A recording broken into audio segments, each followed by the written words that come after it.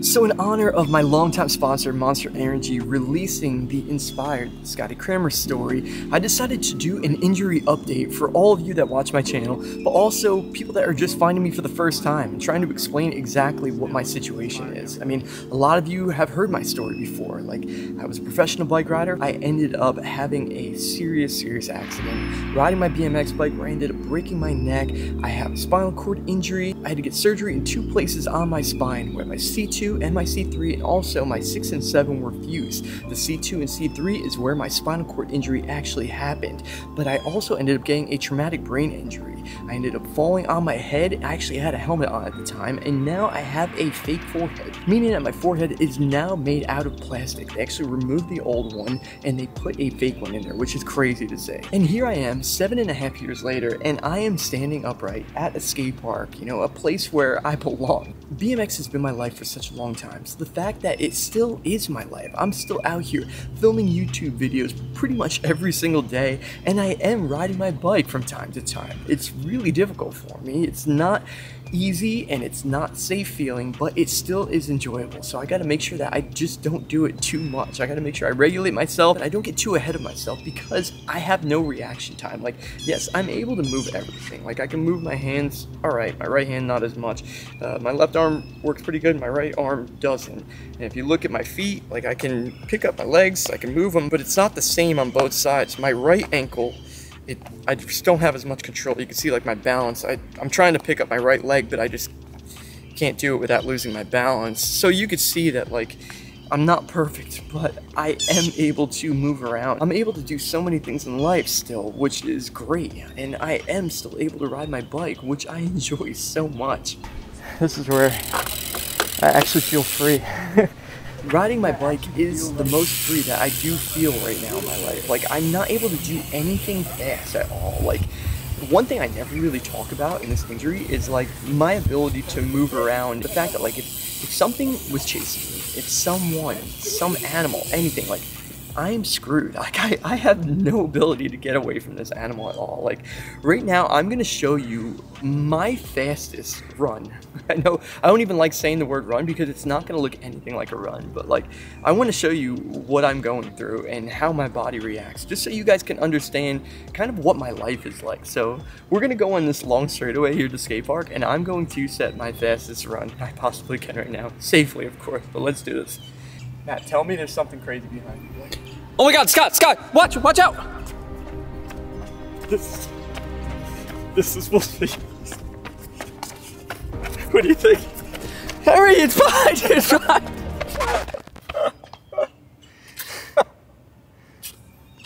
that, was, that was supposed to be. That's all I got.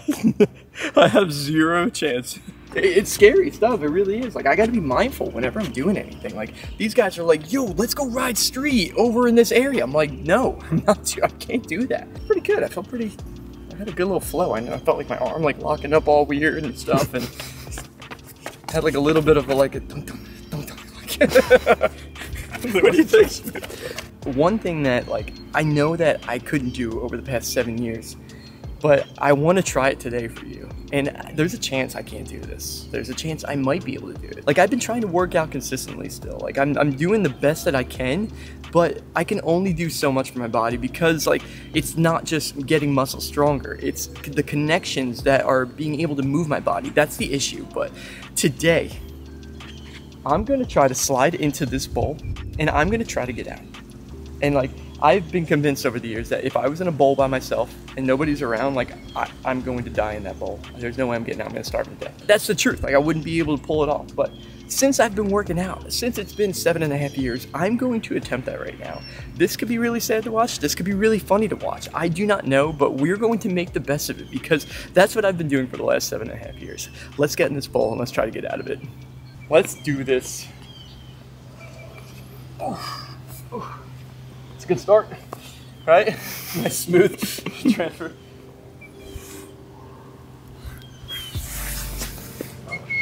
Feels a lot deeper when you slide into it. So this is a, a five foot bowl. About five feet, right? I'd say about there. Yeah, because I'm 6'4", so you do the math. You guys ready? Here we go.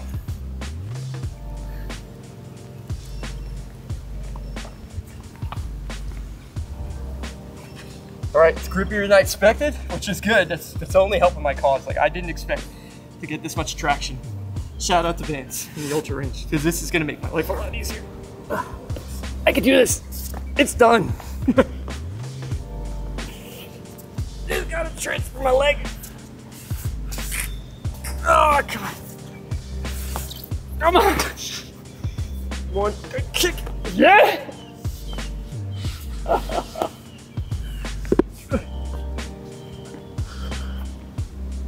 I'm like, I've already done it. Like, I'm already proud. Like, I know I can get up from here, but like,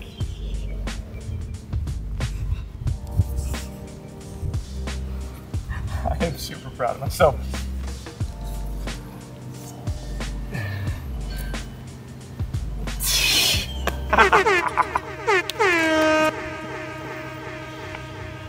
I'm not gonna starve to death in a bowl ever in my life.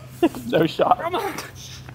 And the reason why I wanted to do it today, like I wanted to do a video where I could challenge myself, but also talk about my injury still because the whole premise of the monster video was talking about me being an inspiration to people. When I realized that if I don't point this camera at myself and I don't share my story with the world, then I'm not going to be able to inspire people. So I need to be able to remind myself sometimes that me filming myself right here doing stuff like that, like getting out of a bowl, everybody can do that. But me being a person that could do any trick that he wanted to in and out of that bowl, and now just getting out of that bowl on my feet is like something I'm proud of. Like that's something that I need to share with the world because that can inspire people to better themselves or to just be grateful for what they have. And I'm going to try to keep this mindset and I'm going to try to share my story with you and I'm going to try to share the ups and the downs of my injury, of my life and uh, and all of you that have been supporting me since the beginning. I truly appreciate it. And also Monster Energy and Vans, they've been with me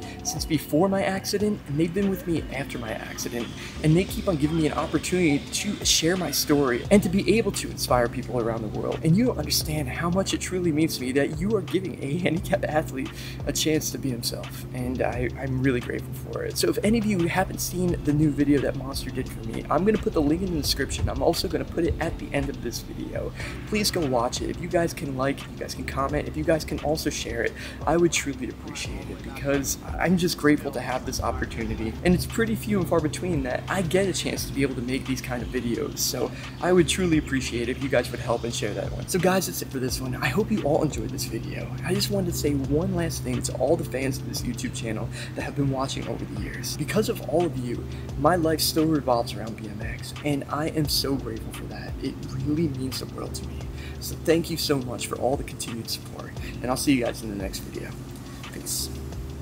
to a low point and climb all the way back up and still just inspiring everybody.